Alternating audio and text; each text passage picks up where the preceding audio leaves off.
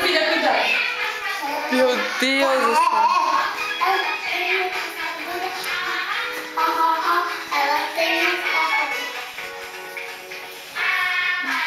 Thank you.